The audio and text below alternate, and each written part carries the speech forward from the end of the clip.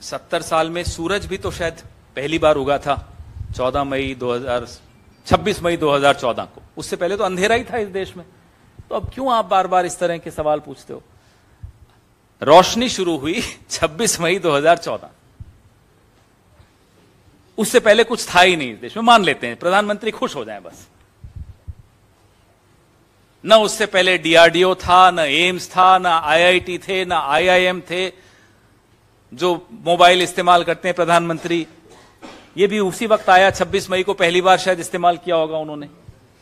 जिस टीवी पर अपनी राजनीति चमकाते हैं, वो टीवी भी 26 मई की शाम को ही शुरू हुआ। शपथ जब इन्होंने ली, वो पहला कार्यक्रम था टीवी पर। अजीब बातें करते हैं। अब मज़ाक उड़ने लगा है इनका। अब जब वो बोलते हैं ना इस तरह से, सब यूँ छिप छिप कर तो उनके मंत्री भी हँसते हैं। और जब अकेले में कहीं एयरपोर्ट के लाउंज में इनके मंत्री मिल जाते हैं तो खुलकर हँसते हैं। पहले बोलते हैं मोबाइल बंद है आपका? बोले हाँ बंद है। फिर हंसना शुरू कर देते हैं। ये तो स्थिति है प्रधानमंत्री। अभी दो दिन पहले मेरे साथ हुआ, नाम नहीं लूँगा। अब ज़्यादा डिटेल्स दूँगा तो बेचारे मंत्री की इंक्वायरी और हो जाएगी। मालूम तो पड़ ही जाएगा किस हवाई अड्डे पे कौन मिला था। तो इनका एक मंत्री मिल गया, हमारा साथी भी था। था, इसलिए कह रहा हूँ कि अब वो हमारा साथी नहीं है। तो बोले, पवन जी, मोबाइल ऑफ़ है? मैंने कहा, क्यों? बोले, एक बार ऑफ़ करो. मैंने ऑफ़ कर दिया। बोले, दूसरा मोबाइल भी ऑफ़ करो. मैंने दूसरा भी ऑफ़ कर दिया। फिर उन्होंने अपना मोबाइल ऑफ़ किया। बोले, यार, तुम कुछ और बोलो इसके खिलाफ. मैंने कहा, किसके खिलाफ? इसके खिलाफ. मैंने कहा, किसके खिलाफ? बोले, वही.